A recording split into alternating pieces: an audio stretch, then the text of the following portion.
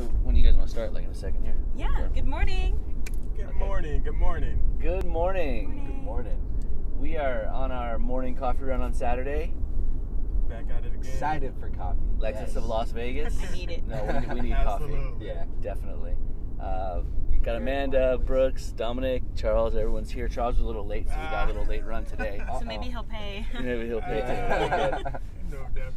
We uh, we're out in an LS 500, a pre-owned certified car. You can see it here at the dealership. We'll actually post it later on on our uh, social media pages too, so you can see the whole car.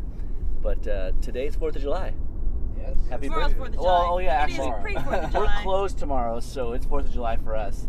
But um, it's Fourth of July. We wanted to share our favorite uh, thing about Fourth of July or um, our favorite memory. That's what we were talking about. So, who's first? I'll go first. All right. Um, Fourth of July usually is a day that I'm always at work. I've always, always had it. But the favorite thing for me is getting off of work and seeing all my friends and family get together and barbecue and celebrate. Um, I think it's great that we all get to get together. That's why I like it. What about you, Charles? Uh, for me, I would say when when I was a child, um, making food, spending time with your family, um, popping fireworks in the middle of the street and running away. Uh, so that was my favorite part of Fourth of July. I'm with Charles because for me it was a child's holiday, and I, and I watch my kids have fun now.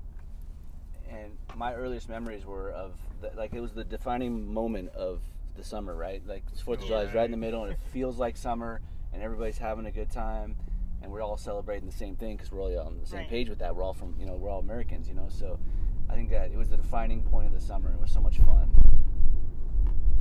Yeah, to me, Fourth of July is something really special because I never really celebrated early on because, as you probably may know, I'm not from here. So, uh, you know, I started celebrating Fourth of July in my teens in my early teens, and uh, it's always been fun for me. You know, get together with family and friends, grill out, fireworks, and uh, yeah, it's uh, it's amazing. I love the feeling. Great.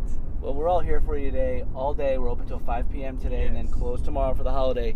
So everyone have a, a really good Fourth of July. Yes. Be Uh, safe. be safe. That's important. Yep.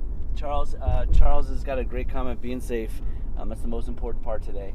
But let's all have a great day, and uh, we'll see you real soon at the dealership. See have a great soon. day. Bye. Yeah. Bye. If we make it.